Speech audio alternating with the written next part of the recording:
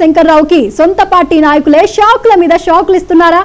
నంబూరి నాయకత్వంలో పనిచేయలేమని రెడ్లు ఎందుకు తెగేసి చెబుతున్నారు? గత ఎన్నికల్లో అన్నీ తానే నడిపించిన కంచేటి సాయిని వైసీపీ నుంచి ఎమ్మెల్యే ఎందుకు బహిష్కరించారు? నియోజకవర్గంలో కొందరు ద్వితీయ శ్రేణి నాయకులకు ఎమ్మెల్యేకి అస్సలు పొసగడం లేదా? శంకర్రావుకి మళ్ళీ టికెట్ ఇస్తే ఖచ్చితంగా ఓడిస్తామని బహిరంగంగా సవాళ్ళు విసిరేంతలా అసమ్మతి పెరిగిపోయిందా? వచ్చే ఎన్నికల్లో శంకర్రావు నియోజకవర్గం మారుతున్నాడు అనే అసమ్మతి నేతల ప్రచారంలో నిజమెంత? సిట్టింగును షేక్ చేస్తున్న రెబల్స్ రాజకీయం వెనుక ఓపెన్ సీక్రెట్ ఏంటి?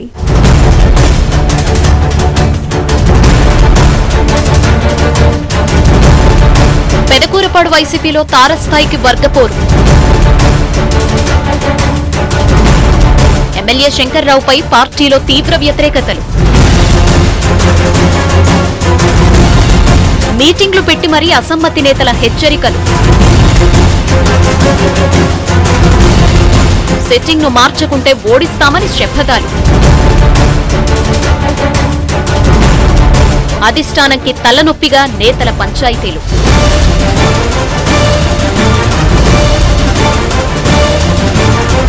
పెదకూరుపాడు ఎమ్మెల్యే నంబూరి శంకర్రావు పరిస్థితి నియోజకవర్గంలో ముందు నుయ్యి వెనుక గొయ్యిలా తయారైందట. శంకర్రావు కింద పనిచేయలేమని కొందరు వైసీపీ ద్వితీయ శ్రేణి నాయకులు కార్యకర్తలు ఒక్కొక్కరిగా తమ అసమ్మతిని బహిరంగంగానే వెళ్ళగక్కుతున్నారు. సొంత పార్టీ నేతలే టార్గెట్ చేసి మరీ ఆరోపణలు చేస్తుండటంతో ఎప్పుడేం జరుగుతుందో అని ఎమ్మెల్యే శంకర్రావు ఆయన అనుకూల వర్గం బెంబేలెత్తిపోతోందట.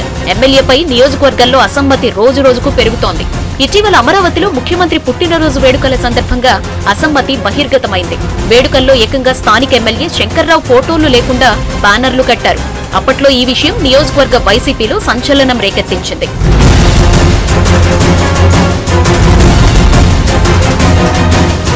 మరోవైపు బెల్లంకొండ మండలంలో స్థానిక జడ్పీటీసీ వెంకటరెడ్డి మరికొందరు వైసీపీ నేతలు ఎమ్మెల్యే వద్దు సీఎం జగన్ ముద్దు అని భారీ ఎత్తున బ్యానర్లు కట్టారు.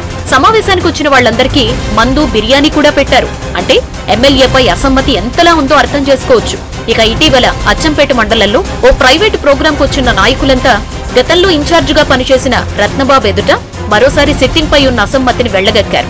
వారితో రత్నబాబు మాట్లాడిన మాటలు సోషల్ మీడియాలో హల్చల్ చేశాయి. ఎమ్మెల్యే శంకర్రావు ఎన్ని కోట్లు ఖర్చు పెట్టినా ఈసారి గెలవనివ్వమని మీటింగ్లో ముక్తకంఠంతో చెప్పారట. పార్టీ కోసం కష్టపడ్డ వాళ్ళని ఇబ్బందులకు గురిచేస్తూ అవకాశవాదులకు శంకర్రావు పెత్తనం ఇస్తున్నారు అని మండిపడ్డారు. ఇక చూస్తూ ఊరుకోబోమని బహిరంగంగానే హెచ్చరికలు జారీ చేశారు. ఇదే విషయాన్ని నర్సరావుపేటకు వచ్చి మరీ వైసీపీ జిల్లా అధ్యక్షుడు మాచర్ల ఎమ్మెల్యే పిన్నెల్లి రామకృష్ణారెడ్డిని కలిసి తెగేసి చెప్పారు.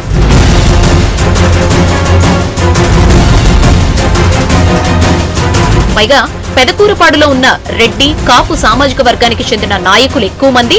ఏ చిన్న పనొచ్చినా ఎమ్మెల్యే వద్దకు రాకుండా అటు పిన్నెళ్ళి రామకృష్ణారెడ్డి సజ్జల రామకృష్ణారెడ్డి ఎంపీ అయోధ్య రామిరెడ్డి వద్దకు వెళ్ళి పని చేయించుకుంటున్నారు. వచ్చే ఎన్నికల్లో శంకర్రావు పెద్ద ఎత్తున ఆర్థిక బలం ప్రయోగించినా ఎట్టి పరిస్థితుల్లోనూ ఆయనకు సహకరించడం కుదరదని తెగేసి చెప్పేశారట. ఇక శంకర్రావుకి టికెట్ ఇచ్చిన దగ్గర నుంచి నియోజకవర్గంలో అన్ని తానై వ్యవహారాలు నడిపిన పీసపాడు గ్రామానికి చెందిన కంచేటి సాయి కొన్ని రోజుల నుంచి పార్టీ కార్యాలయం దరిదాపుల్లో కూడా కనపడటం లేదట.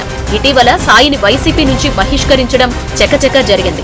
కేవలం ఇసుక ర్యాంపుల వ్యవహారం భారీ ఎత్తున సెటిల్మెంట్లకు దిగడమే శంకర్రావుకి సాయికి మధ్య పూడ్చలేని అగాధంలా మారింది అంటున్నారు. ఒకనొక దశలో కంచేటి సాయిపై ఇసుక మాఫియా వాళ్ళు సత్తెనపల్లి పోలీస్ స్టేషన్లో కూడా కేసు నమోదు చేశారట. ఈ వివాదం అటు ఇటు తిరిగి అధిష్టానం వద్దకు వెళ్ళగా వారిరువురిని పిలిచి మూడు రోజులు మాట్లాడి మరీ కేసును రాజీ చేయాల్సి వచ్చిందిట.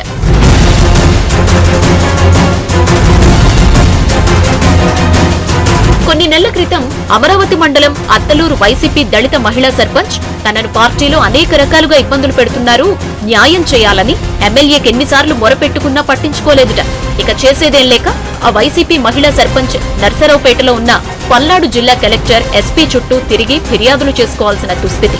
మహిళను దారుణంగా వేధించిన సొంత పార్టీ నాయకుల్ని కంట్రోల్ చేసి ఆమెకు న్యాయం చేయడంలో ఎమ్మెల్యే పూర్తిగా విఫలమయ్యారు అని దళిత సంఘాలు గుర్రుగా ఉన్నాయట.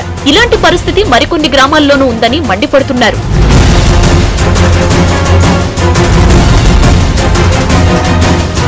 ఏదేమైనా తమ ఎమ్మెల్యే సౌమ్యుడు వివాదరహితుడు.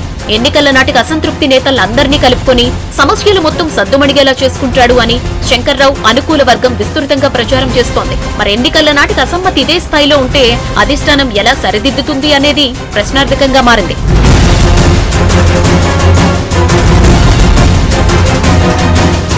వాళ్ళందరిది ఒకే